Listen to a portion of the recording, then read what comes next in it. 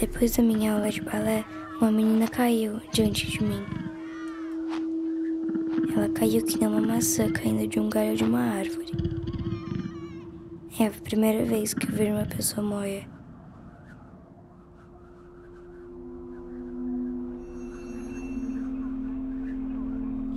De repente eu tava correndo por esses túneis enormes Tava e tropecei num ovo enormes. gigante. E eu tropecei num ovo gigante.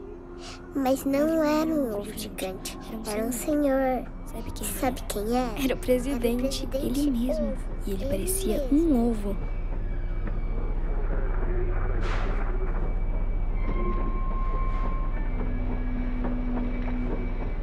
Eu percebi que ele escutava o que eu pensava, porque ele me disse que não gostava de ser chamado de ovo.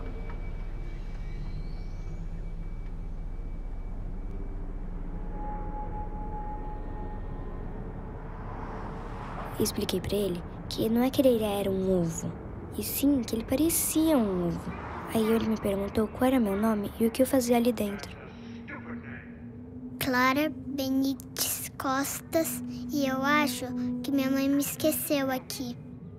Ele me disse. Daí ele respondeu Clara, que Clara é um nome muito é um nome muito estúpido. estúpido e não significa nada. O nome tem que significar alguma coisa? E ele respondeu: Claro que tem.